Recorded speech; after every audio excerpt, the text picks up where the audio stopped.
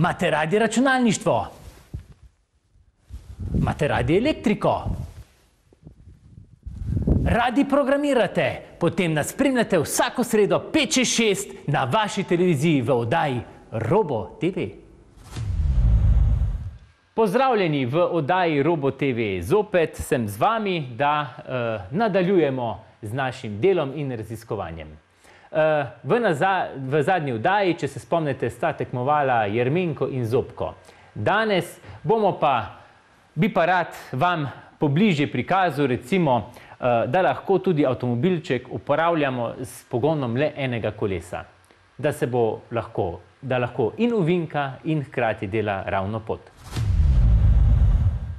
Predno pa začnemo s samim delom, pa vas najprej povabim na našo spletno stran dvojnivro.si, kjer si lahko ogledate vse o prihajajočem tekmovanju iz robotike. Danes, kot sem vam obljubil, sem za vas sestavil takle avtomobilček uh, in sicer ima en člen, okrog katerega se lahko premika in se lahko giblje kot neka kača. Da, zdaj bomo pa poskusili tale naš avtomobilček upravljati s pomočjo enega motorja, tako da bomo poganjali eno kolo. Zdaj, mogoče da mal razložimo eh, delovanje. Mogoče vaši starši ali pa še stari starši poznate mogoče traktorčke, ki sem rekel Tomo Vinkovič, to so bili tisti traktori, ki so bili ravno na sredini uh, uh, kot na nek način razpolovljeni in ko si uvinkal, ne, si enostavno premikal sprednji del uh, traktorja v eno ali drugo smer. Zdaj za samo delo so bili mogoče zato malo bolj nevarni, ker če si v zadnji jih preveč obremenil, se je lahko prišlo do zloma oziroma zasuka traktorja.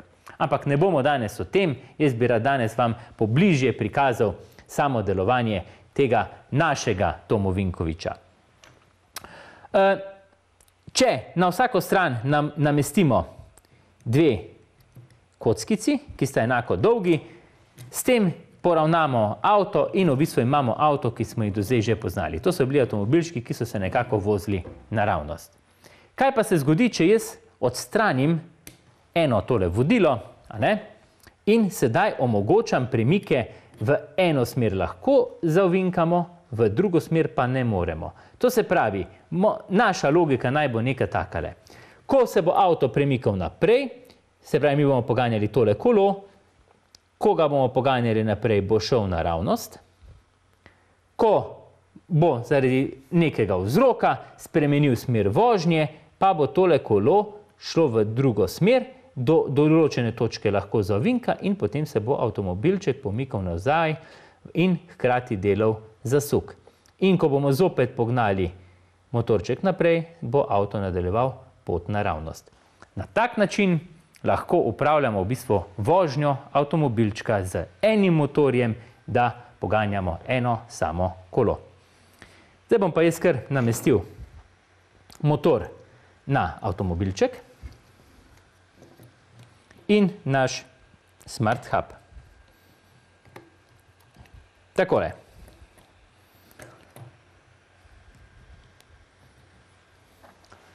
Povezal bom Smart Hub z našim računalnikom.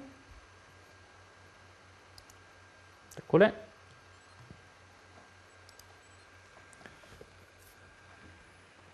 In sedaj ga bom le najprej preizkusil, da vidim, če se vse odziva tako, kot je potrebno. Se pravi, ko bom pritisnil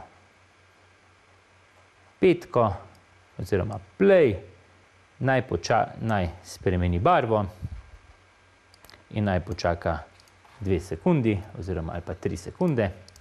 Samo pogledamo, če komunikacija poteka, spremeni barvo in ko se spremeni v modro, pomeni je program končan. Dobro. Zdaj bomo pa šli kar na upravljanje našega motorčka. Najprej bom jaz nastavil moč motorčku nekje na polovično vrednost in ga bom zavrtel v eno smer, naj v tem stanju počaka eno sekundo, potem pa naj motorček ugasne. Uh, dal sem eno sekundo, zato da bom sploh lahko nadzoroval premikanje našega motorčka. Pa si pogledajmo, če stvar deluje. Se pravi, ko gre naprej, stvar funkcionira. Na mesto zagona programa bom uporabil smerno tipko, pa naj bo to kar dvojni V. To se pravi, ko pritisnem dvojni V, bo avtomobilček nadaljeval pot naprej. In ko bom pritisnil tipko S, pomeni, da gre nazaj, bom ravno tako moč motorčko bom nastavil na vrednost 4. Vrtenje ne bo v desno, ampak levo. Naj počaka eno sekundo in potem se naj motorček ugasne. Pa si pogledamo, ko pritisnem črko S. Takole, tere kabelčke bom še malo bom še malo sprostil, da se bo lažje premikal sem in tja. Še enkrat pogledamo S. Na tak način za ovinka, z dvojnim V se poravna in se pelje naprej. In ko želimo avtomobilček obrnati,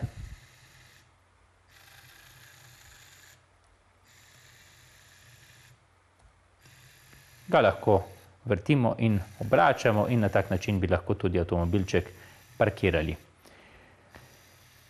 Zdaj nekako uvinkanje smo že spoznali. Eh, zdaj bom pa jaz na sam tale avtomobilček še dodal senzor in s tem bomo dobili robota. To se pravi, avtomobilček bo vedno nadaljeval pot naprej, ko bo senzor oddaljenosti zaznal neko oviro, ne, pa bo spremenil pot nazaj. Tako v nadaljevanju oddaje vam bom še nadgradil tale avtomobilček s namenom, da se bo lahko čist sam avtonomno vozil, brez da bi se zaletaval. Tako, na naš avtomobilček bomo priključili senzor oddaljenosti, ki bo odbiral vrednosti, kje se avtomobilček nahaja, ko bo zaznal določeno oviro, pa bo se ustavil, eh, popravil smer vožnje in potem nadaljeval v novi smeri. Jaz bom tale senzor kar tukaj le spredi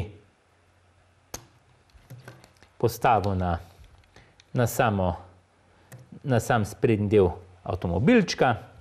Tudi senzorček lahko še celo kam obrnemo, zasučemo takole, jaz ga bom usmeril približno v smeri naravnost naprej in ga bom priključil, priključil v avtomobilček oziroma v naš smart hub in na desni strani spodaj lahko že zaznamo naš senzor, ko se bo nekaj približevalo, pomeni, da ga senzor zazna in na določeni vrednosti bomo potem, eh, da se bo avtomobilček ustavil in spremenil smer vožnje. Sedaj pa se lotimo programa. Sedaj bomo pa sestavili naš program. Najprej bomo moč motorja nastavili, pa recimo lahko ga damo nekje na malo manjšo vrednost. Potem bomo pa postopno, se pravi, uporabili bomo vrtenje, da gre motorček naprej in naj se v tej smeri premika toliko časa, dokler senzor ne zazna nekaj v svojem vidnem polju, potem pa naj ta motorček spremeni smer vožnje in v tej vožnji naj počaka recimo dve sekundi. Tale del se mora jasno skozi ponavljati, zato bomo uporabili funkcijo loop in jo bomo priključili poleg našega programa. Zdaj jaz, če bom enkrat sam preveril, programček ima Eh, se pravi optični senzor ima zdaj vrednost 9, ko se karkoli približuje, se pravi se program se, eh, oziroma optični senzor to zaznava, malenkost ga bom obrnil v smeri navzgor, zdaj ima vrednost 10 in ko pridemo nekje na oddaljenost pod 20 cm, bo zaznal nek objekt in na tak način bo spremenil smer vožnje. Zdaj bom pa jaz tole kar poskusil z našim programom oziroma uh, preizkušal naš program. nadaljuje pot, dokler ne zazna nekaj v svojem vidnem polju. Ko zazna, popravi. Ko zazna, popravi. Zdaj, če ga pustimo malo dlje časa, ne, ko zazna, potem popravi. Takole, ga bomo še pa mogoče sprobali na tleh, da se bomo lažje videli, kako se sam avtonomno giblje naprej. Takole. Program smo pripravili, avtomobilček postavili v naš poligon, naredili smo okrog ovire, pa poglejmo, kako bi se avtiček znašel v tem okolju. Ko poženem program, avto potuje in ko zazna oviro, spremeni smer in nadaljuje v drugi smeri.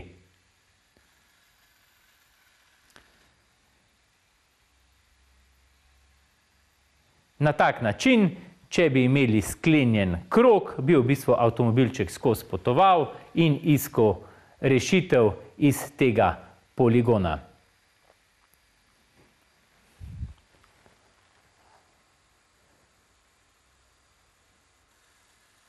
Tako, zdaj bo pa naš avtomobilček zapustil tole naše polje. Jaz pa vas lepo pozdravljam in Uh, upam, da ste tudi danes kaj zanimivega spoznali, se kaj zanimivega naučili in raziskujte in iščite še več možnosti sami. Lep pozdrav!